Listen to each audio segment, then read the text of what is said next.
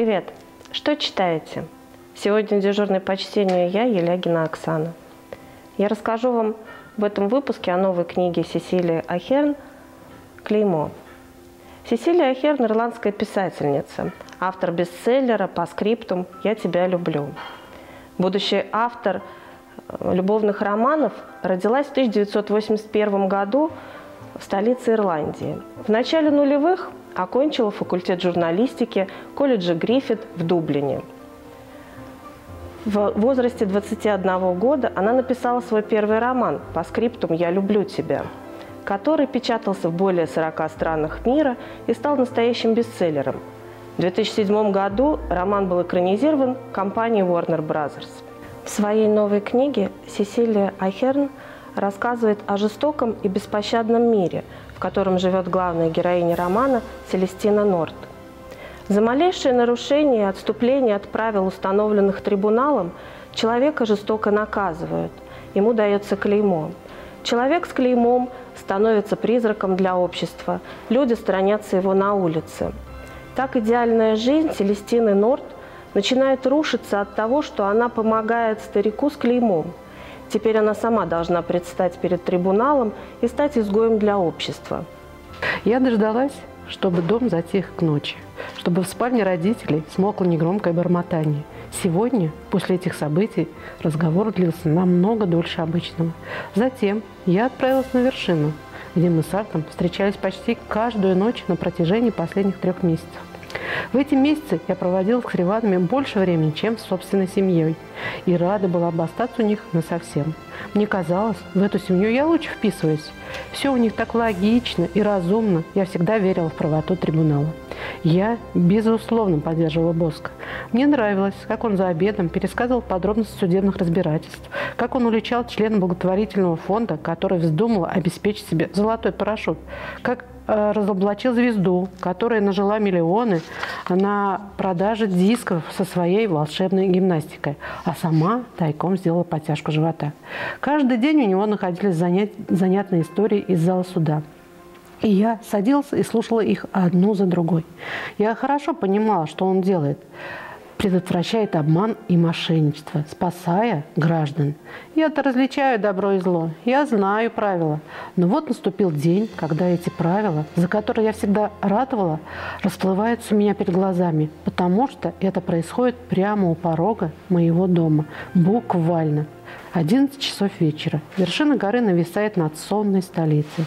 Мы живем в долине, окруженной со всех сторон горами. Хевен Касл – настоящая крепость, самая высокая круглая башня в мире. Ее зоркое око видит и вдаль, и вблизь. После многих веков войн, вторжений, резни, теперь там про проводятся правительственные съезды и официальные обеды, экскурсии по памятникам архитектуры и музея древностей. И там же заседает трибунал. Мы устроились на вершине напротив горы. Слева и справа от нас горизонт загораживает ветряные мельницы. Налево точками в ночи другие города. Одна точка за другой. Бесконечно. Замок бдительно просматривает за всеми. И, а направо тянется сельская и промышленная местность. Где-то там поселился мой дед. Хемнинг – самый большой город Хейленда. Столица, знаменитая и своей красотой – и славной историей. Туристы стекаются к нам из самых разных стран, чтобы полюбоваться мостами и сказочными дворцами и замками, мощенными улочками, богато украшенными площадями. По большей части здешние здания устояли перед яростными разрушениями XX века на радость любителям романской архитектуры, готики и возрождения. Хаминг, бридж широкий, 10 метров и длиной 600, один из самых знаменитых в мире мостов. Он был построен в XIV веке. Он ведет за реку, к замку Хейленда. Он и ночью прекрасен.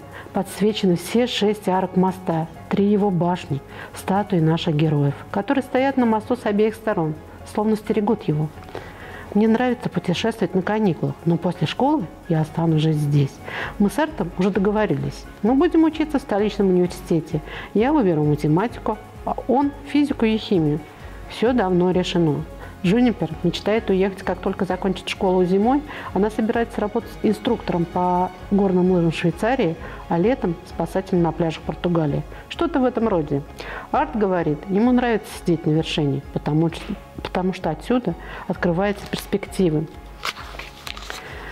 Тяжело у него выдался год. Его мама умерла, и это место, как мне кажется, помогает ему оторваться от земных горестей. Он смотрит на них словно с высоты, издалека, и горе его понемногу приглушается. Да и время лечит. А для меня вершина – то место, где мы с Артом вдвоем проводим вместе против всего мира. Там, у подножья, миллион человек спят крепким сном – а мы с Артом тут вместе. И союз наш крепнет с каждым днем. Я чувствую себя непобедимой. Я чувствую себя на этом замке, который был бдит над всеми, недосягаемый, неприкосновенный. Это лишь последние полгода у меня появилось такое чувство карту. Дружили мы с ним с 12 лет. Вместе пришли в среднюю школу, и в первый же день нас посадили за одну парту. Кстати, вот какие отзывы оставляют читатели. Книга захватила меня с первых страниц – потому что при всей своей фантастичности она очень реалистична. Ведь люди сейчас с таким удовольствием и рвением вешают ярлыки на других, не похожих на них людей. Сесилия Ахерн заставляет окунуться в мир книги с первой страницы. Тут и интриги, и любовь, и боль. С нетерпением хочу прочитать и вторую часть. Я давняя поклонница данного автора, но ничего подобного у нее не читала – Книга очень интересная, читается на одном дыхании, насыщена событиями, не отпускает тебя, держит в напряжении. Книга обязательно к прочтению, особенно подросткам. Когда общество навязывает тебе свои идеалы, что ты выберешь? Быть как все или поступать так, как велит совесть? Давно я не читала столь интригующие завораживающие истории. Интересные герои с различными судьбами. Так и хочется ворваться в книгу и прожить вместе с ними эту историю. С удовольствием прочитаю продолжение. Этот двухтомник показал писательницу с другой стороны. Я не ожидала, что человек, написавший роман по скриптум «Я люблю тебя», создаст в корне другую историю, свой новый мир. В книгу погружаешься полностью, невозможно оторваться. Спасибо автору за шедевр. Рекомендую. Мы тусовались в одной компании, он с мальчиками, я с девочками, но все время рядом. И никогда не оставались только вдвоем, хотя и жили по соседству, через дорогу. Лишь год назад, когда его мама умерла, Ад вдруг стал приглашать меня на свидание. И ему было все равно, что об этом подумают ребята. Мы забирались сюда и разговаривали. Он оплакивал мать и постепенно смирялся с утратой. На его глазах мать медленно погибала от рака. А когда скорбь понемногу отступала, он перестал быть главной причиной наших встреч, и они превратились во что-то совсем другое. Тогда со мной стало происходить что-то странное. Шорох крыльев, будто налетала стая бабочек, всякий раз, как я видел его. И глупая улыбка на лице, стоило хотя бы подумать о нем, и пузырьки в животе, и разряд тока, когда его кожа соприкасалась с моей. Вдруг все стало страшно важно, что я надену, что скажу, как я выгляжу, Первый эту перемену во мне заметила, конечно, Жунипер, который за дня в день наблюдал, как я тревожно изучаю свое отражение в зеркале, прежде чем выскочить из дома. Заметил это и Арт. А когда я на минутку перестала нервничать из-за того, что происходило со мной, я смогла разглядеть, что это происходит и с ним. И вот мы уже три месяца вместе. Добравшись до вершины, я разглядел его подсвеченную луной фигуру, и гнев во мне поутих. Арт умеет делать это со мной. Я просто э, в мягкое желе превращаюсь. Всегда проходит заранее, приходит заранее, всегда ждет меня, сидя на одеяле, с таким сосредоточенным лицом вглядывается сонный город над горой. Идеальная картина. Я часто повторяю слово «идеал», и когда говорю о самом Марте, я описываю люб любую проведенную с ним вместе минуту. «Привет, ранний червячок», — говорю я. Он поднял голову, печаль у него на лице сменилась улыбкой и, кажется, облегчением. «Привет, мышка. Пришла за сыром? Я его уже съел». Сыр и черви. Я усаживаюсь рядом с ним на одеяло. Ням-ням. Мы поцеловались. «Вот это я понимаю, ням-ням», – бормочет он, притягивая меня ближе. Второй поцелуй. Дольше сколько сил хватит. Что-то в арте сегодня непривычное. Я это чувствую. Потихоньку отодвигаясь, смотрю его лицо, его глаза – Давай договоримся не обсуждать, что произошло сегодня. Неплохая идея, вздыхаю я. У меня даже от мысли об этом голова трещит. Он целует меня в лоб и не спешит оторвать от меня губы. Мы молчим, погрузившись в раздумье, и видим, и слышим, и, и видится, и слышится нам одно. как Ан- Ангелину Тиндер тащит прочь из дома. Напряженного молчания нам не вынести. Вскоре Арт выпрямился и заговорил. «Сегодня мой отец и он прервался, уставился на крыши домов и труп, и я вижу, как он переживает из-за того, что сегодня произошло.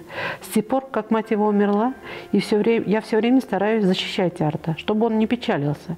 И хотя сама я не до конца разбираюсь в том, что случилось, я должна вернуть Арту покой и ясность. Слушай, Джуниперы, не следовало так разговаривать с ним. Но ты же знаешь, какая она. Ей бы научиться держать рот на замке. Вылитый наш дедушка. Жунипер всего лишь сказал то, что думала. К моему изумлению возражает он. Не следует говорить такое судье. Он печально улыбнулся. «Для тебя, Селестина, не существует ничего, кроме черного и белого. Мы же соседи. Мы праздновали День Земли. У вас столовый. Они стояли перед трибуналом, и он ведь знал, что за Ангелиной сегодня придут. Неужели не мог предупредить хотя бы ее, если не нас? Они дружили. Можно было бы дать ей возможность подготовиться, а не тащить ее вот так, на глазах у семьи, у маленьких детей. Странно слышать такое от него. Арт никогда не критиковал отца. Они закадычные друзья, сплоченная команда, двое на всем белом свете. Теперь, когда мама умерла, у обоих нет никого ближе. Пережили страшное горе вместе и это их сплотило. Во всяком случае, так мне это виделось. И я понимаю, что Арт точно так же растерян и возмущен, как я. Он действовал по правилам, говорю я, но знаю, что от этого объяснения, этого объяснения недостаточно. Недостаточно, однако это чистая правда. С Ангелиной случилась ужасная беда. Но твоего отца в этом нельзя винить. Нельзя? С горечью переспрашивает он. Это его работа. Почти каждый день где-нибудь в стране уличают порочных. Твой отец трудится изо всех сил, чтобы сохранить идеалы нашей страны. Что же будет, если он вздумает закрывать глаза на, на чьи-то проступки? Я перескакиваю с мысли на мысль, торопясь высказать то, что мне гложет. Сам подумай, судья Криван предстанет перед, трибу, перед трибуналом и будет заклеймен за то, что по дружбе на кого-то не, он кого-то не заклеймил, Арта уставился на меня. С, точки зрения, я никогда об этом не думал. А надо бы, ведь это твой отец, и он могущественный человек. Многие этим восхищаются. Блистательная Сесилия Ахер нарисовала мир, в котором идеал ценится превыше всего, а любые отступления от него наказуемы. Что же произойдет, когда молодая девушка рискнет отказаться от всего, что ей дорого, и решится пойти против системы? Эта история настолько достоверная, эмоциональная, что герои ее покорят сердца читателей любого возраста. Книгу можно найти в отделе мобильного обслуживания Дворца книги. А вы читали новую книгу Сесилии Ахерн «Клеймо»? Делитесь в комментариях.